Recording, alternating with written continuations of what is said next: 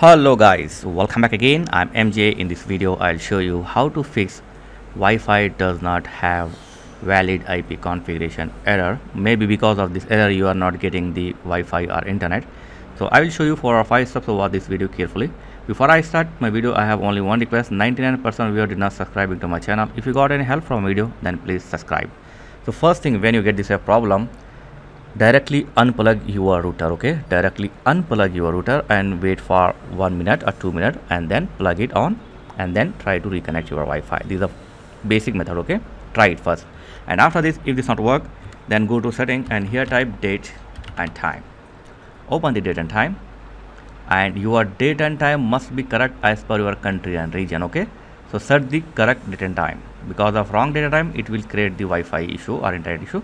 So set the correct date and time if it's not work then go to start and here type cmd right click on command prompt and click on run as administrator. And here type this simple code. So i have given this code in my video description link. So first type this code ipconfig space slash flush dns and hit enter.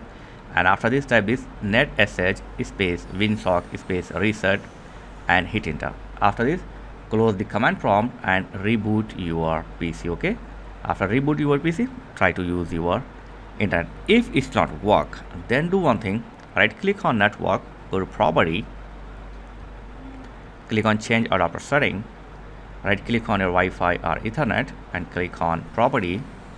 And here select the internet protocol version 4 select it and click on property and select the use the following DNS server address okay? Select it and here type 8888 and in the alternate server type 8844 and click ok ok and close it. Now try to reconnect your wi-fi okay? If it's not work then go to the services open the services and here find wlan auto config. Open it and this should be automatic okay? And the status should be running. If it stop or not running then select the automatic and then click on start then click apply and ok yeah? And try to use the Wi-Fi. If it's not working then do one thing.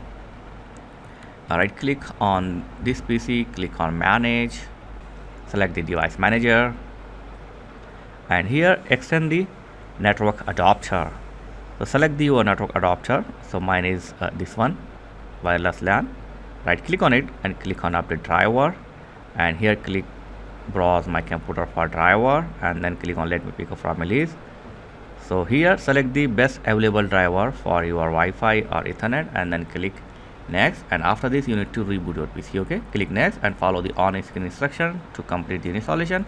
And after this reboot your PC and then try to use your internet if it's not work then do one thing go to setting and then network and internet scroll down and click on advanced network setting. And here click on network reset okay? This will completely reset your network. So after this you need to retype your password and you need to reconfigure your Wi-Fi okay? So just click on re reset now and then after reset reboot your PC and then reconfigure your Wi-Fi and try to use it. So I have showed 5 or 6 method. Let me know in comments which option or which method fix your issue. So thank for watching guys. Catch you next time. Please like share and subscribe. Thank you very much guys